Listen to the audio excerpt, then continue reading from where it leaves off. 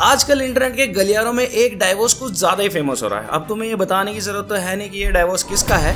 लेकिन यार, इतना फ़ेमस तो कभी किसी हीरो हीरोइन का नहीं हुआ जितना ये हो रहा है। जब ये न्यूज़ बाहर आई तो काफ़ी शॉकिंग रहा सबके लिए, मेरे लिए भी रहा, क्योंकि यार मैंने बहुत कुछ सीखा है फ्लाइंग बीच से। तो यार मुझे अपना ओपिनियन तो नहीं देना इस डाइवोर्स पे, क्योंकि यहाँ पे लोगों के बहुत सारे ओपिनियन है। कोई किसी की गलती बता रहा है तो कोई किसी की गलती बता रहा है। कोई कह रहा है कि ये अटेंशन गेन करने के लिए किया गया लेकिन इसके पीछे की सच्चाई क्या है वो किसी को नहीं पता, क्योंकि यार फ्लाइंग बीच ने मना कर दिया इस पे कोई जवाब देने के लिए। तो चलो यार, हम लोग चेकआउट करते हैं सबके ओपिनियन भाई, लोग क्या क्या कह रहे हैं। और कुछ कुछ फ़ोटोज़ जिसमें लिखा हुआ है और बच्चों हमें इनसे क्या क्या सीखने को मिलता है तो उसके कमेंट भी पढ़ेंगे तो आज कुछ अलग करते हैं यार। चलो देखते हैं भाई इस फ़ेमस डाइवोर्स को। देखो जैसे मैं यहाँ पे लिखूँगा ना flying F L Y I N G flying beach divorce second number पे आ रहा है भाई देख रहे हो तुम कितना ज़्यादा ट्रेंड तो यार ये चीज़ सुन के तो मुझे काफ़ी ज़्यादा डिस्टर्बिंग सा लगा क्योंकि यार उनकी लाइफ में काफ़ी ज़्यादा दुख आने वाले हैं शायद। चलो देखते हैं भाई इन्होंने क्या क्या जवाब दिए हैं। राम राम। पारा मैं हूँ। बच्चा के साथ हूँ। खुश हूँ। ठीक हूँ। एक वीडियो भी with hidden identity with some personal question ask was at me yes M I अबला नारी नो आई एम नॉट मैं समर्थ हूँ अपने बच्चों को पालने के लिए। एक पति पत्नी के बीच में वो तीसरी बात हुआ। जो छुप सके। होगी कोई बात यार। छुप गई इस बार उसके भी और मेरे भी, उस आदमी का। इन एंड आउट मैं जानू मेरी श्री जी है, मैंने संभालन खातर। रियलिटी यह है उसको यू नकली बना देना। I can not forget the eight years I spent with that man. Ram Ram. भाई ये तो काफ़ी इस बात से तो बिल्कुल विलन साबित हो गए यार अपने फ्लाइंग बीस्ट पता नहीं भाई इन लोगों का क्या मैटर है लेकिन ये कुछ ज़्यादा सीरियस लग रहा है मुझे यार।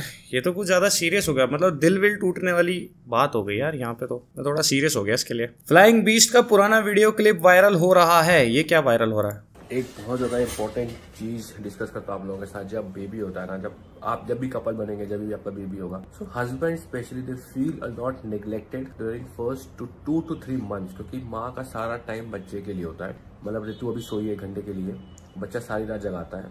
तो जब बच्चा सोता तो माँ सोती तो आपके लिए टाइम है ही नहीं बीवी के पास। Most of the extra marital affairs like eighty two eighty two percent of extra marital affairs happens when you just have a baby. It looks थोड़ा काउंटर इंट्यूटिव कि you should be more attach as a couple but fact is और number से that तो husbands को अपना थोड़ा सा ख्याल रखें और ये देखें कि भाई जो संतान आपकी बीवी पाल रही है, वो आपकी भी संतान है और आपसे ज़्यादा ही मेहनत कर रही है वो। तो अपने आपको थोड़ा कंट्रोल में रखें। बिकॉज़ कहता है ऑफ़िस जा रहे हैं, बाहर जा रहे हैं, बीवी के साथ तो टाइम मिलता ही नहीं। बीवी के पास आप, बीवी के पास आपके लिए क्या बोल रहे भाई?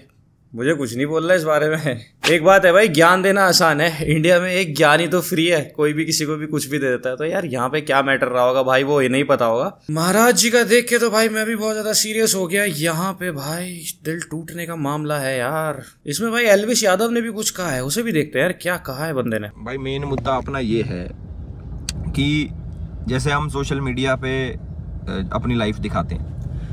हम 24 घंटे जीते हैं और मान लो दस मिनट का व्लॉग हमने निकाल दिया तो उस दस मिनट में ज़रूरी नहीं कि हमने अपनी चौबीस घंटे की लाइफ दिखानी है। क्या पता वो दो घंटे में भी हमने कवर कर लिया हो। हम्म, हम्म, हम्म। क्या पता हमने चार घंटे में कवर कर लिया हो। और बाकी की हमारी जो अनकट ज़िंदगी है मतलब जो हम खुद की पर्सनल लाइफ है उसको हम कैमरे पे ना दिखाते हो। हो सकता है और जो कि होता भी है। टाइम बढ़ता जा रहा है। जो कि होता भी है। तो बहुत सारे लोगों को गलत फहमी होती है कि सामने वाला क्रिएटर जो यूट्यूब पे अपनी लाइफ दिखा रहा है ये अपनी सारी चीज़ें हमसे शेयर करेगा। जो कि नहीं होता है ऐसा। मान लो आप अपने आप को भी रख के देखो किसी की जगह कि अगर आप कोई कंटेंट शूट करते हो तो आपके हर चीज़ दिखाने, दिखाओगे? The answer is obviously no भाई। पर्सनल ज़िंदगी होती है, किसी का पर्सनल ट्रॉमा होता है। तो मेरा बस यही मानना है कि उस हिसाब से किसी को जज मत करो। अपनी ज़िंदगी जियो, मौज लो और हँसते खुश, हंसो खुश खुश रहो, मौज करो। मतलब जो कंटेंट देख के आपको खुशी मिलती है, हँसी मिलती है उस उसको देखो। भाई बंदा क्या तो सही रहा यार। लेकिन लोगों को मज़ा आ रहा है भाई इस डाइवोर्स को देखने में ही। अच्छा भाई इन भाई साहब ने भी कहा है कुछ? इनका ओपिनियन भी देख लेते हैं भाई क्या कह रहे हैं ये? मेरे को खैर एक चीज़ समझ नहीं आती कि मतलब कुछ लोग क्या इस फिराक में बैठे होते हैं क्या कि, कि किसी के घर में कुछ हो कोई बंदा कुछ करे ये कुछ करे या वो कुछ करे कि हम उनका टॉपिक उठाएँ और उसके दम पे दो चार रुपए कमा लें दो चार व्यूज़ कमा लें दो चार लाइक्स कमा लें। किसी एक परि यार, ये कह तो सही रहा है यार, लेकिन इसमें एक चीज़ है भाई, उस बंदे ने अपनी सारी लाइफ ही दिखाई है यार यूट्यूब पे, और उसने पूरा का पूरा अपना साम्राज्य बनाया भाई उससे तो लोगों का रिएक्शन देना बनता है। अब इसमें गलत क्या है, मैं क्या बोलूँ यार, अब यूट्यूब का जो एल्गोरिदम वो ऐसे ही काम करता है, जो आपका ट्रेंडिंग टॉपिक होता है, आपको उसके ऊपर वीडियो बनानी होती है तो सारे के सारे जितने भी क्रिएटर्स है, वो यही कर रहे हैं। अगर वो ऐसा नहीं करेंगे तो यार उन्हें व्यूज़ नहीं आएगा, क्योंकि ट्रेंडिंग चीज़ों के ऊपर उन्हें कंटेंट बनाना होता है भाई, उनकी मजबूरी है ये। अब इसका ये एक सीधा सही जवाब है इसके अलावा मैं क्या बोलूँ बताओ।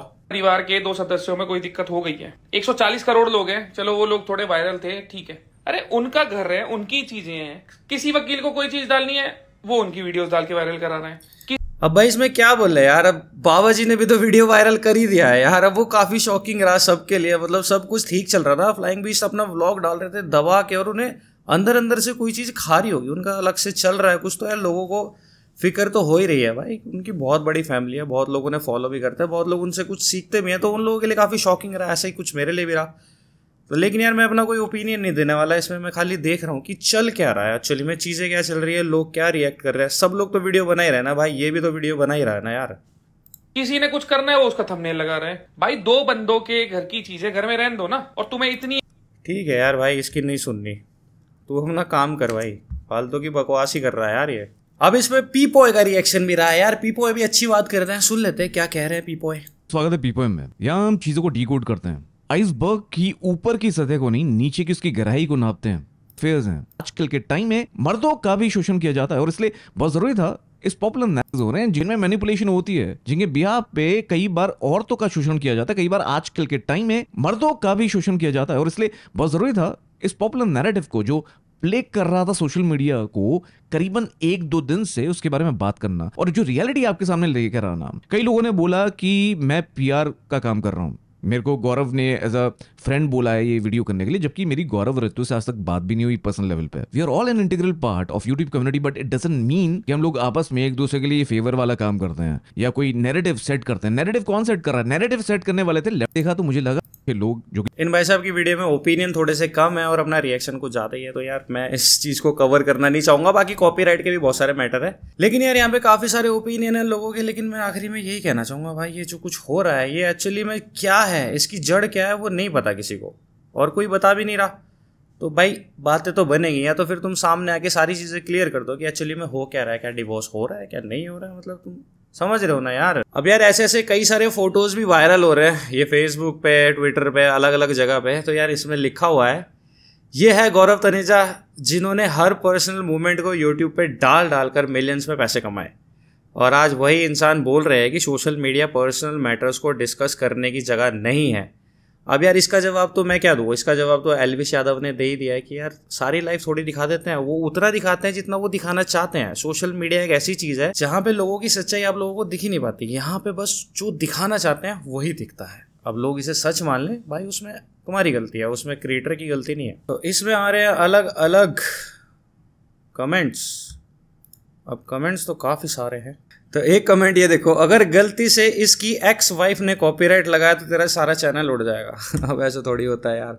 अब लोगों के अलग अलग ओपिनियन है भाई, ये सारी फ़ोटोज़ वायरल हो रही है, खूब सारी, और यहाँ पे काफ़ी ज़्यादा न्यूज़ चल रही है। अब यार मैं सारी चीज़ें दिखाना नहीं चाहता, क्योंकि यार इंटरनेट पर तो पता नहीं क्या क्या चल रहा है, और अभी पता नहीं क्या क्या चलेगा। क्योंकि ये चीज़ काफ़ी ज़्यादा शॉकिंग रही है। और भाई इतने ज़्यादा ओपिनियन को देखने के बाद, इतने ज़्यादा चीज़ों को देखने के बाद मैं तो ये कहूँगा, भाई उनका पर्सनल मैटर है, वो अपने आप सुलझा लेंगे। मियाँ बीवी के बीच में घुसना पागलपंती है, अब क्या असली मैटर है, वो इन लोगों को ही पता है किस बात पर लड़ाई चल रही है, वो चीज़ें सामने तो आई नहीं जब वो कभी सामने आ जाएँगी तो यार उसको ओपिनियन देना बनता है, जब लोगों को पता ही नहीं है तो उल्टी सीधी बातें बनाएँगे लोग। लेकिन मैं यही चाहता हूँ कि आई होप कि सब कुछ ठीक हो जाए। देखो यार, मेरा ये वीडियो बनाने में इतना कोई ज़्यादा इंटरेस्ट नहीं था, लेकिन आप लोगों को मैंने पहले बताया कि यार यूट्यूब का एल्गोरिदम ऐसे ही काम करता है कि जो ट्रेंडिंग चीज़ें चल रही है, उन पे हमें रिएक्शन या फिर उन पे हमें कॉन्टेंट बनाना ही पड़ता है। तो लास्ट में मैं आपसे ये भी नहीं कहूँगा कि अगर आपको वीडियो अच्छी लगी तो लाइक करना, वो आपका अपना ओपिनियन है भाई। तो चलिए गाइज़ मैं मिलता हूँ आप लोगों से नेक्स्ट वीडियो में। बाय